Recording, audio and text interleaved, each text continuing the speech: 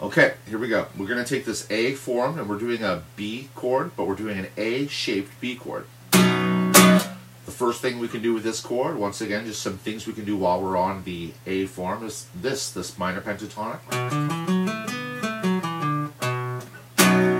We can also do pentatonic plus, which simply means we go and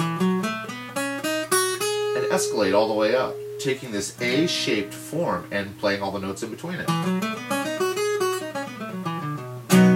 There's literally dozens of ideas there. The third thing that we did was finding bend notes.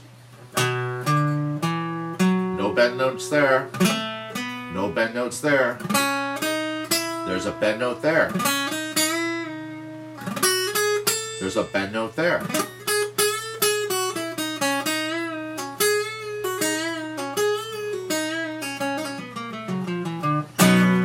The fourth thing we can do with this A form is also play a lower box which I call a four pack, which is kind of obvious why. One, two, three, four, duh. So we got pentatonic, pentaplus, bend notes. That's an A form. You might find your own, but this is the ones that I these are the ones that I choose to do. The next form that we're going to see after an A form, if I follow CAGED or on an A-shaped chord, the next one's going to be a G-shaped chord. So I replace this finger with this finger.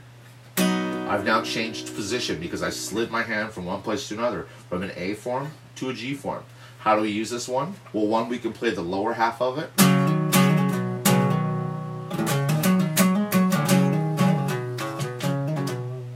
Or we can play the upper half of this G form. We can put them together.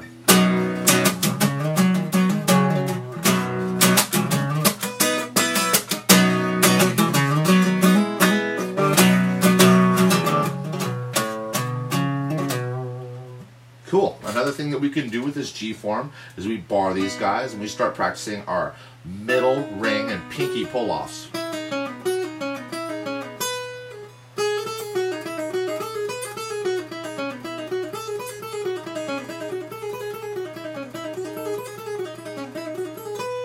Which is a lot of fun. And then slide out of it.